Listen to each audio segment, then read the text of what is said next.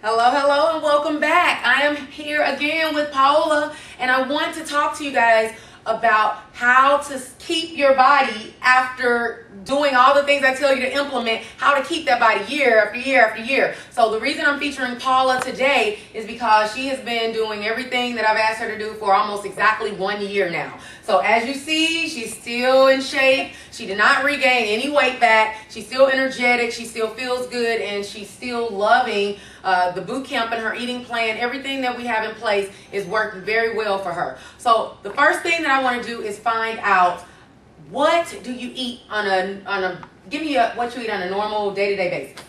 An Okay. example. I wake up and normally like 95% of the time I have smoothies in the morning. I like them because they're easy to make.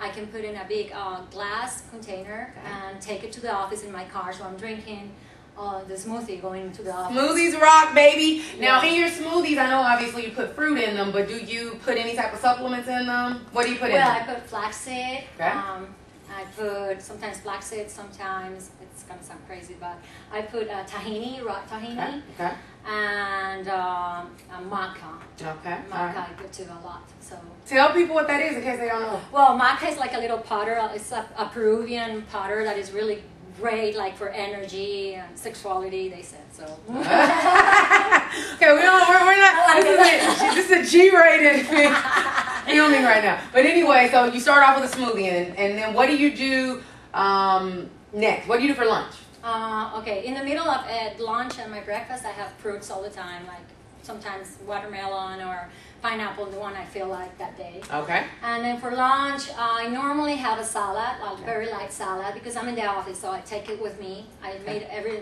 like every, every day in the morning. I make my time to make a nice salad. What do you put on your salad? Um, depends. Sometimes I do the kale salad with avocado and tomato. That's delicious. Do you ever, if you use dressings, which dressings do you use? I'm not good at dressing. Okay, so usually you don't put after the dress. diet, yes, I Okay. don't.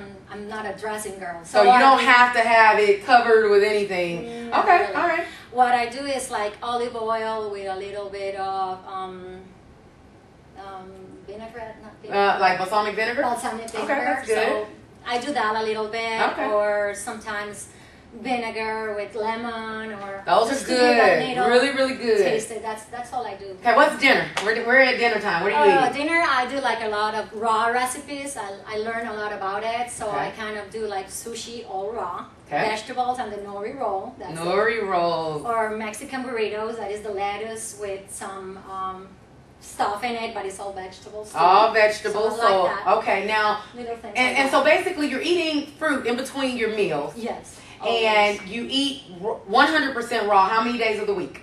uh, two days for sure. Sometimes if I can, three days. And then the rest of the week you have how many meals that are cooked? like one meal. Okay. One, So, that's it. Like more the salad, and maybe at four or five, I get like chicken and cook. Like that's what I cook. Like okay. chicken or fish, maybe. All That's it. right. All right. So, um, what is, when is the last time you've had something that was very, very bad, Paula? How long ago and what was it? Ah. Come on, fess up time. I have like, Like confession almost time with okay, my girls. almost a month. Okay. I confess, I had a burger, a whole grilled burger. Wow. Okay. Did you make the burger? Did you get it at a restaurant? Where, where'd you get this burger I from? was in a hotel in my anniversary with my husband. and so you had a burger. Had a and what burger in happened? the How did you feel? That I threw, I vomit everything. So it all came up? Yes, all of it. Oh my goodness. I was so so sick. That was the last time I ate Okay. red meat. That was the last time I was. I Okay. now I see a red meat. I'm like, I don't even want to see it anymore. And see, that's what's the key. You're not sensitive to things like that if you eat it all the time.